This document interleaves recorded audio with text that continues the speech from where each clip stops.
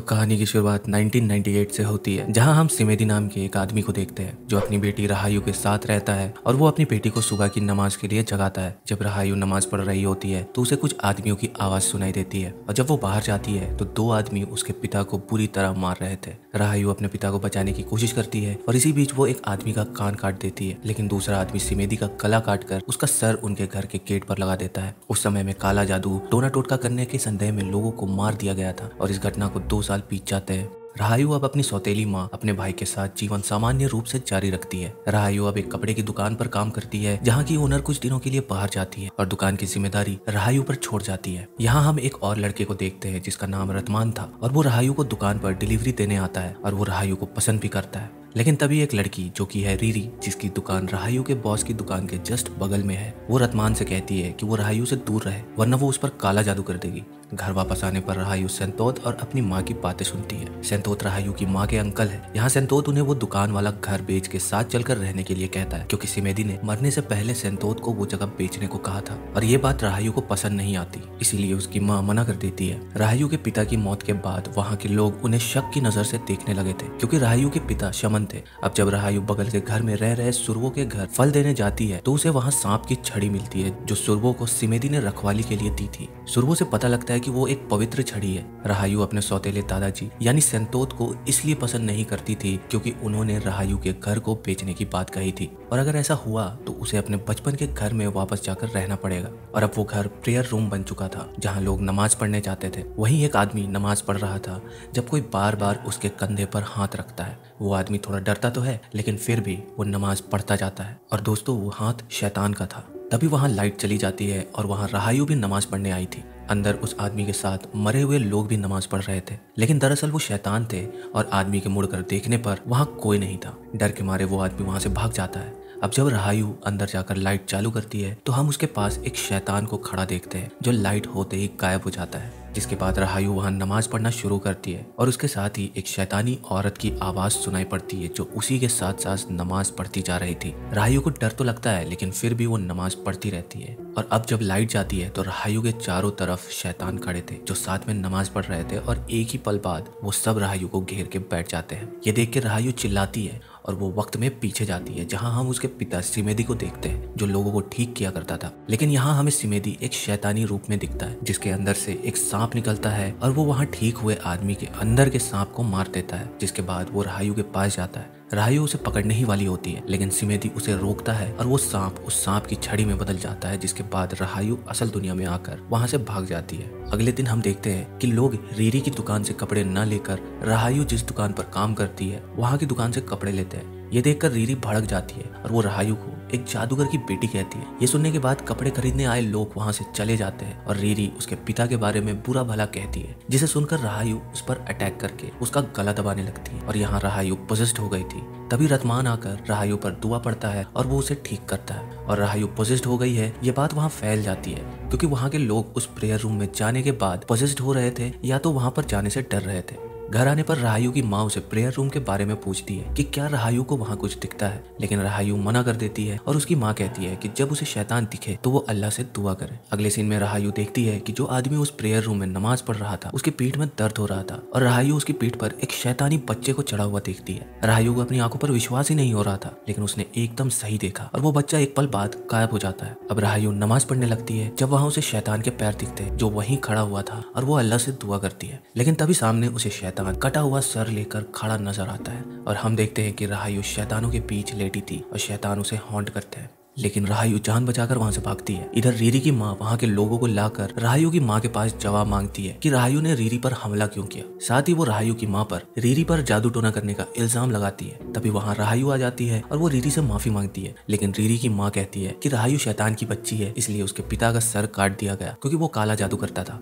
ये सुनकर राहयु अपना गुस्सा रोक नहीं पाती और उसकी माँ उसे संभालती है। लोगों के जाने के बाद उसकी माँ लोगों से न लड़ने के लिए और राहयु को नॉर्मली बिहेव करने के लिए कहती है और वो उस घर को बेचना चाहती थी। लेकिन राहयु मानती है कि उसकी माँ ये सब सेंतोत के कहने पर कर रही है, क्योंकि सेंतोत को सिमेदी की दौलत चाहिए, जिसके बाद राहयु खुद के बचपन की झलक देखती है, जहाँ वो शैतान की गोद में लेटी थी और वो दूसरी दुनिया में, यानी कि जिन्स की दुनिया में पहुँच जाती है, जहाँ उसे शैतान हॉन्ट करते हैं और उसकी आँख सुरवो के घर में खुलती है, जिसे रतमान प्रेयर रूम से लेकर आया था। दोस्तों राहयु बिना सोचे उन शैतानों को समन, यानी बुला लेती है, और राहायु के अंदर ये पावर थी। लेकिन अब वो उन्हें रोक नहीं सकती, क्योंकि उसने खुद उन्हें बुलाया था। दोस्तों, वो शैतान राहायु के बचपन में उसे दिखा करते थे, जिसे वो अपना दोस्त कहती थी। ये सच सुरवो राहायु को बताता है। वो ये भी बताता है कि रहायु कोई आम इंसान नहीं है और इसलिए उसके पिता और संतोत ने राहायु पर एक्सोसिज्म यानी कि रुकया परफॉर्म किया था, जब वो छोटी बच्ची थी और वो शैतान उसका इंतज़ार कर रहे हैं और इसलिए वो उसका पीछा करते हुए प्रेयर रूम तक आ गए थे। अगले दिन हम देखते हैं कि रहायु को काली उल्टी होती है, जब उसे मार्केट में कई भूत नज़र आते हैं। तभी हम देखते हैं कि एक औरत रीरी के माँ से फूल न खरीद कर राहायु की माँ से फूल खरीदती ये देख के रीरी की माँ राहायु की माँ के फूल गिरा देती है और उसे बुरा भला कहती है। तभी हम राहायु के पास एक सांप को जाता हुआ देखते हैं जो रीरी की माँ की हालत खराब कर देता है और उनके पैर पर घाव आ जाते हैं, जिससे उनका पैर सड़ने लगता है। तभी गाँव वाले उन्हें ले जाते हैं। इस बात से गुस्साए लोग रात को राहायु के घर आते हैं। उनका मानना था की लोग इसलिए घायल हो रहे हैं क्योंकि राहायु की माँ उन पर काला जादू कर रही है। तभी सुरभो आकर उन लोगों को रोकता है, क्योंकि उसने वहाँ के एक आदमी को अपने फ़ायदे के लिए एक स्पिरिट को यूज़ करते हुए देखा था। लोग कहते हैं की अगर कुछ भी हुआ तो अब उसका जिम्मेदार सुरबो होगा और वो लोग वहाँ से चले जाते हैं। उसी रात राहायु फिर से पजिस्ट हो जाती है और वो सांप रीरी के माँ के पास जाकर उसी के हाथ से उसका गला घोट देता है और उसकी मौत हो जाती है। इस हादसे के बाद वहाँ के लोग इंसाफ चाहते थे। वो चाहते थे कि राहायु की माँ को सजा मिले। तब सुरभो राहायु की माँ से पोचोंग ओथ यानी मरने की कसम खाने के लिए कहता है, जिसमें उसकी माँ को एक लाश की तरह बांधा जाएगा और वो कसम खाएगी। और अगर उसने काला जादू नहीं किया होगा तो वो ज़िंदा रहेगी, वरना वो मर जाएगी। लेकिन अपनी माँ की जगह वो कसम राहायु लेने के लिए कहती है, लेकिन उसकी माँ उसे मना कर देती है। अब राहायु की माँ पोचोंग की कसम लेती है, जिसके लिए उन्हें लाश की तरह बांधा जाता है, और उधर राहायु उस रूम में नमाज़ पढ़ती है। तभी उसकी माँ जिन्स की दुनिया में पहुँच जाती है, जहाँ वो एक जिन को राहायु के अंदर जाता हुआ देखती है, और राहायु